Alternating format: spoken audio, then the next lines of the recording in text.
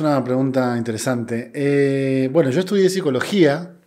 Sí, yo eh, estudié la carrera de psicología en un ámbito, no podríamos decir particularmente muy lacaniano que digamos, ¿no? Era más bien eh, un lugar que tenía una marcada orientación kleiniana, en la obra de Melanie Klein y los post-kleinianos y demás. Y bueno, yo tuve muchísima formación en psicoanálisis desde el principio de la carrera, era un plan de estudios que estaba muy, muy bien armado, muy interesante. Imagínate que los primeros cuatro semestres de la carrera tuve Freud 1, 2, 3 y 4. Así que si algo le tengo que agradecer a esa formación es justamente haber leído muchísimo a Freud. Y bueno, después vino toda la instrucción kleiniana, digamos, eh, Melanie Klein, Hannah Siegel, Winnicott, Meltzer, Bion, ¿no? Todos hoy en día no, la comunidad lacaniana en general no está tan familiarizada con ese tipo de autores, pero en ese momento este, me lo enseñaron así. Y recuerdo que en el último semestre o en el penúltimo semestre, un poco seguramente por, este, por obligación de, del programa, metieron una materia sobre Lacan. Eh, y nada, recuerdo que leí el primer texto que nos dejó la profesora era em, El Estadio del Espejo, ¿no? Y yo, bueno, esto siempre lo cuento, yo me consideraba un alumno relativamente inteligente, ¿no? O sea, yo leía, participaba, me gustaba debatir y tal. Y me acuerdo cuando leí ese texto, lo leí una vez, lo leí dos veces, lo leí la tercera vez y no entendí nada, absolutamente nada. O sea, no entendía de qué estaba hablando el tipo, ¿no? Eh, pero sin embargo, hubo algo que claramente, no eso que tiene Lacan, que es que te atrapa. Eh, entonces, sin lugar a dudas, me atrapó. De una forma que no podría describir ni, hoy ni en aquel momento, ¿no? Pero bueno, eh, nada, ahí me di cuenta que había algo distinto, qué sé yo. O sea, a mí me había leído muchísimo Freud, había leído muchísimo Klein, los autores postkleinianos y tal, pero cuando leí a este hombre me di cuenta que ahí había algo distinto. Y ahí nomás, eh, cuando todavía no terminaba la carrera, un poco movido por todo esto que te contaba recién, busqué un grupo de estudio en, la École Lacanien, ¿no? Eh, esta, tercera pata de enseñanza de Lacan, que se deriva básicamente de Jean Alouche y todos ellos. Y empecé un grupo de estudio sobre un seminario, ya no me acuerdo cuál, eh, de Lacan, y bueno, de ahí ya no hubo vuelta atrás. así que así fue, así fue como arranqué.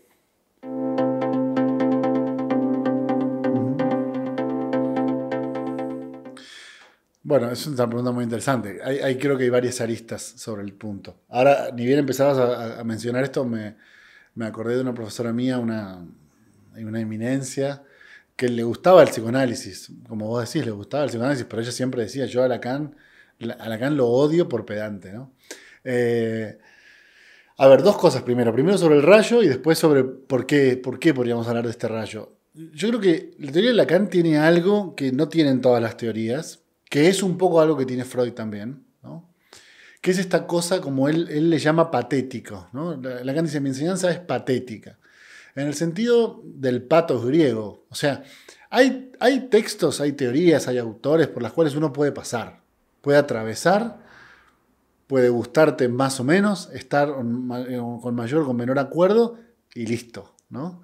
Eh, hay autores que no son patéticos y otros autores que son francamente patéticos, ¿no? Que, o como vos decías recién, o lo terminás queriendo en el sentido de quedar un poco fascinado por este personaje tan raro, o directamente rechazando absolutamente, odiando todo lo que tiene que ver con, con él. Lacan genera justamente eso, ¿no? Genera como este cimbronazo eh, en donde uno... Creo que lo que pasa con Lacan es lo que pasa con muchos grandes, ¿no? Que es que uno no puede pasar desapercibido de él. Es decir, o lo tomás en serio y lo lees y tal, o directamente lo rechazás. Exactamente, pero es imposible pasar de él como la historia, y esto lo digo con mucho pesar, ¿eh? como la historia recordará a Strachey o a Fairbairn o a Ferenczi, ¿entendés? Autores que tuvieron su peso y son, tienen ideas muy interesantes, pero bueno, uno puede, digamos, leer a Ferenczi y coinciden algunas cosas y otras no. En cambio, Lacan genera esta cosa tumultuosa. y con respecto a lo de lo del rechazo por parte de los mismos analistas, me parece que eso está muy bien planteado desde, desde el origen de Lacan, el origen político de Lacan y el problema de haber sido eh, expulsado, ¿no? O sea, vos hoy en día hay analistas que son de la, internacional Y vos hablás de Lacan y es un poco como cuando los lacanianos hablan de Jung. ¿entendés? Que nosotros en general solemos pensar a Jung como por fuera del movimiento. Y la gente de la IPA suele pensar a Lacan como por fuera del movimiento, ¿eh? abiertamente.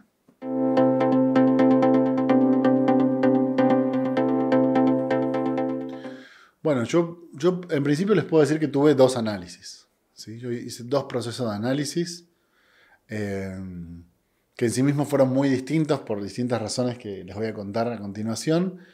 Un primer análisis que duró cinco años, que yo diría que sería un análisis de lo que hoy día podríamos llamar ortodoxo, ¿no? digamos, eh, varias veces por semana, eh, analista kleiniana, diván, interpretaciones kleinianas, bueno, un poco, un poco así. Ese análisis surge en el contexto de mi formación. ¿sí?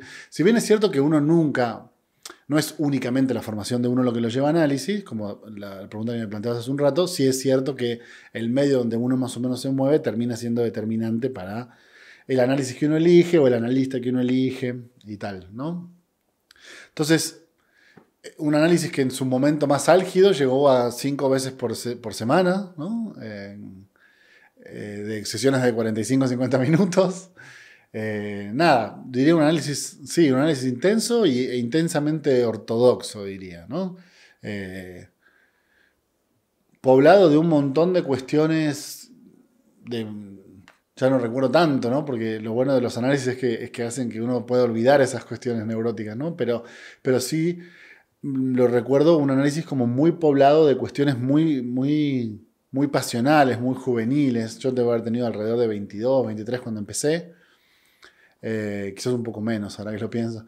No sé, eh, más o menos eso. Y eso, recuerdo con sus puntos álgidos donde realmente estaba motivado por mi interés de dedicarme al psicoanálisis y por mi interés de, finalizar el análisis, como se pensaba en aquellos, en aquellos momentos, no tanto como se piensa hoy lo del pase. Eh, llegó hasta tener hasta cinco sesiones por semana. Y después de haber terminado eso, habrán pasado como dos años, tres años más o menos, donde yo ya empezaba cuestiones lacanianas mucho más, eh, más asiduamente, ya leía muchísimo más a Lacan, estaba en grupo de estudios y tal. Y ahí inicié un análisis, podríamos decir, lacaniano, de alguna manera. Ese análisis duró dos años, pero fue radicalmente distinto, ¿no? O sea, ya no eran sesiones de 45 o 50 minutos. Este, a veces había veces que había más de una sesión por día, ¿no? Eh, nada, muy distinto. Creo que se trabajaron otros temas en otro nivel, pero muy, pero muy interesante también, sin lugar a dudas.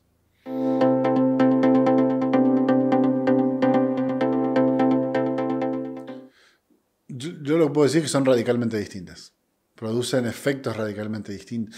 Eh, a ver, esta es una idea que yo te comparto que quizás es solamente mi impresión, ¿no? Pero yo te digo que en mí y en mis compañeros el mundo kleiniano era un mundo muy persecutorio. Es decir, al menos como nosotros se nos lo enseñaba o como lo vivíamos, no sé bien cómo decirte, pero era un mundo persecutorio. O sea, si vos llegabas con tu analista y todavía no sabías del paciente anterior, te sentías mal. ¿Entendés? Medio como te sentías incómodo. Si tenías que pasar al baño a lavarte las manos y te sentías medio raro. Era como que todo lo pensabas seis, siete veces antes de hacerlo, ¿entendés? Eh, pedirle agua a tu analista o bueno, alguna cosa rara que tuvieras que hacer siempre era como muy, rondaba un ámbito como muy persecutorio. En el ámbito lacaniano eso es radicalmente distinto, era como si hubiera una posibilidad eh, de desplegar algo que encima se desplegaba a pesar de uno, ¿no? Porque uno empezaba a hablar y el analista decía cosas y terminaba las sesiones, era toda una especie como de vorágine este, muy, muy interesante, pero sumamente descontracturado. Eh, sumamente. Por eso también creo que no es para todo el mundo. ¿eh? También coincido que no es para todo el mundo. Yo, yo, yo hoy pienso que pacientes que podríamos llamar, así en medio de términos generales, un poco más graves que otros pacientes, no la pasarían tan bien en un ambiente tan descontracturado, ¿entendés? En cambio, quizás a un neurótico le ayuda bastante. Exactamente, sí, en términos teóricos sí, pero yo te lo diría incluso en términos prácticos. O sea, el encuadre freudiano tiene una, una función de, contención. yo sé que esta palabra a los lacanianos no les gusta mucho, pero el encuadre freudiano tiene una función de contención.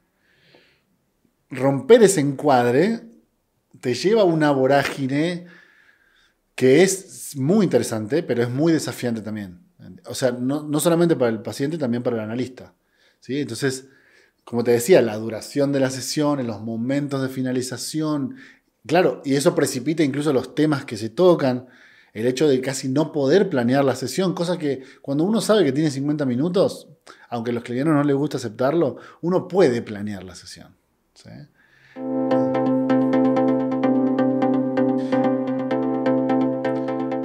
Bueno, sin ir más lejos, fue la razón por la cual Lacan fue, fue tachado de la lista de didactas de la IPA. Eh, y finalmente, bueno, eso derivó en que él se fuera completamente de la institución. Yo pienso dos cosas. Yo diría, como que tengo como una idea clásica y una idea neoclásica del, de la interrupción temporal de la sesión, ¿no? la escansión como, como modelo lacaniano.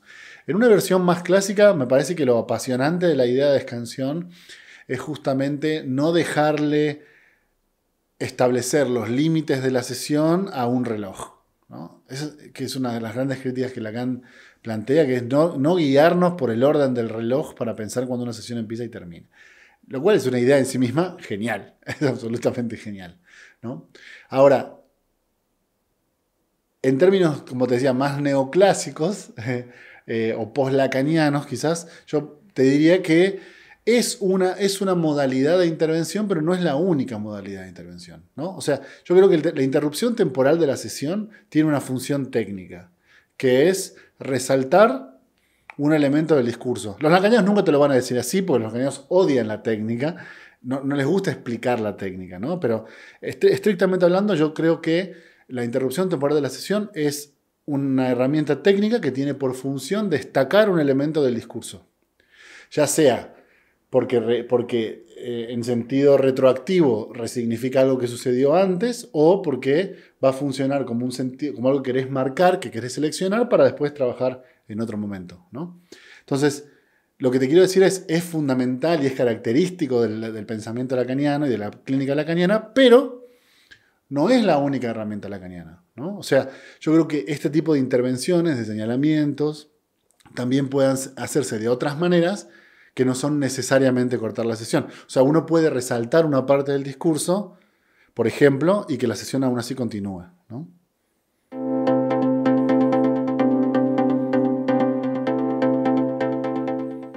qué buena pregunta.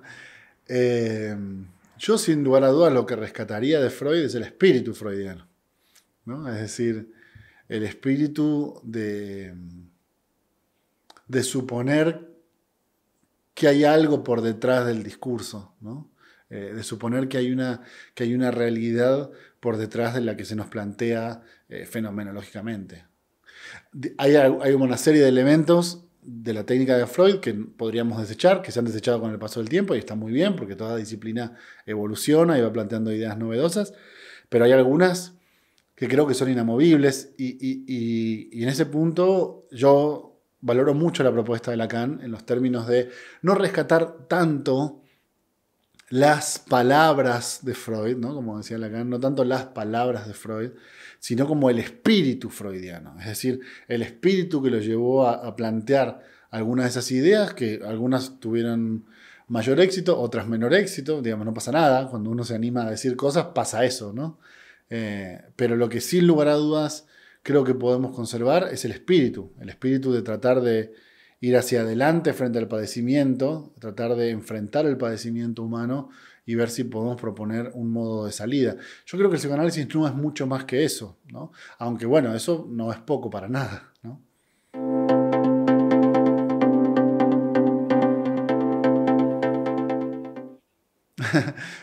el retorno a Freud es todo eso.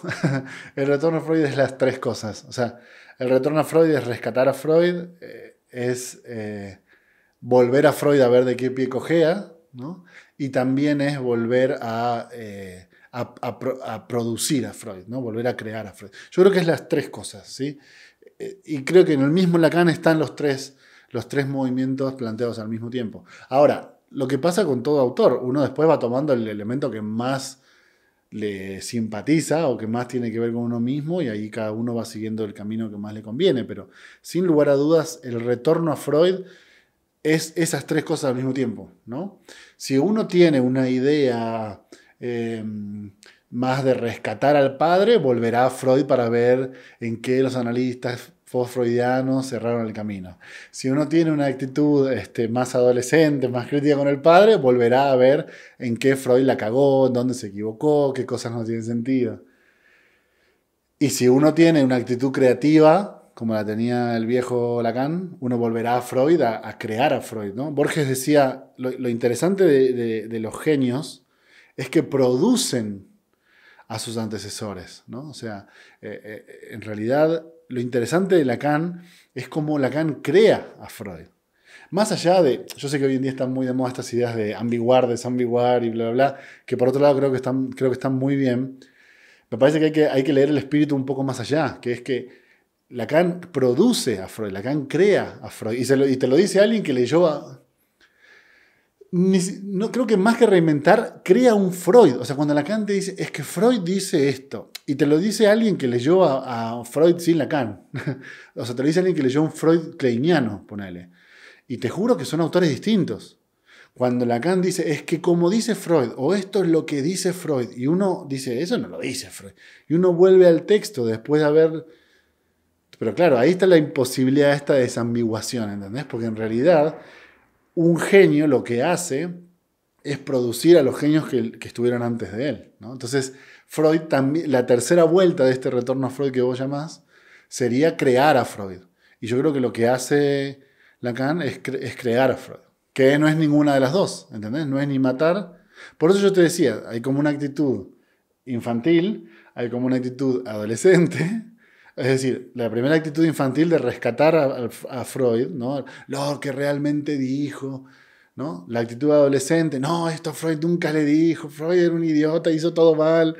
Y después una actitud, creo, creativa, que es esto que vos estás mencionando, es decir, creemos a Freud. A los autores que se los leen bien, a los grandes clásicos se los crea cada vez que se los vuelve a reinventar. Rudinesco tiene una frase muy interesante, que ella dice, la única forma de serle fiel a Freud es serle infiel a Freud. Es una idea interesantísima. Que es lo mismo que vos decís del padre. La única forma de resolver el conflicto neurótico con el padre es fallarle al padre. Pero eso es, eso es actuar en función del padre, ¿entienden?